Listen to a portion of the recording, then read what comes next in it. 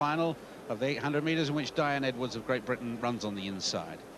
Kiryukhina of the Soviet Union is outside her, Sedlakova of Czechoslovakia, Gabi Bussmann of West Germany, Olizarenko, the former Olympic champion, goes in five, Wodars of East Germany in six, Berg of Belgium in seven, Beclea of Romania in lane eight, running in the yellow right on the outside. Diane Edwards so much improved just 20 years of age. The Sale Harrier, coached by Norman Park, the Northern champion, the women's three-age champion, who's improved every year since 1979. Tough task here, though. First three plus two to qualify as the Soviet girl takes it on.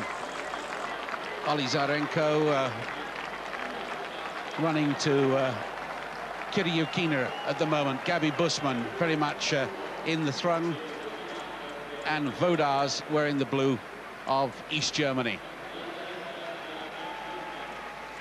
Diane Edwards running sixth at the moment.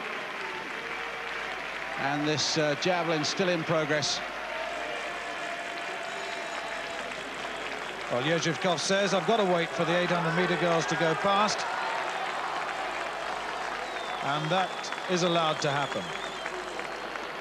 So Kiryukhina of the Soviet Union from Gabi Bussmann, and then the East German girl, Wodars, and Diane Edwards moving out, trying to get past uh, Beclea, the Romanian girl wearing yellow. She's run herself into fifth place. She's got Olizarenko running wide. It's a tough task for her. And uh, with only three to qualify plus two from two semi-finals. She's run herself into fifth place, but look at this uh, phalanx getting away. Wodars of East Germany leading uh, the two Russian girls, and suddenly Gabby Bussmann getting cheered on by the crowd. There's uh, Kiryukhina and coming up is Olizarenko. And Diane Edwards back in fifth place. Olizarenko moving out wide, but the West German girl getting roared on.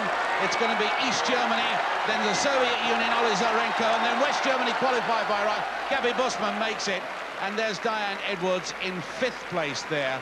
The time 158.26. It was faster than the first semi-final, but even so, she was a little far back off that pace uh, to be certain of a place. But she ran just outside her personal best, Diane Edwards, in a race that was won by the uh, East German girl, Sigrun Wodars.